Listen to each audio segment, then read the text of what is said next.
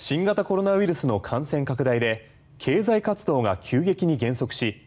アメリカの先月の小売売上高は過去最大の落ち込みとなりました。アメリカの商務省が15日に発表した3月の小売売上高は前の月に比べて8.7%減少し1992年の統計開始以来最大の下げ幅となりました。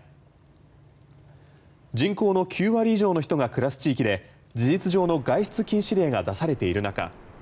医療・装飾品や飲食サービスなどが大幅に落ち込みました。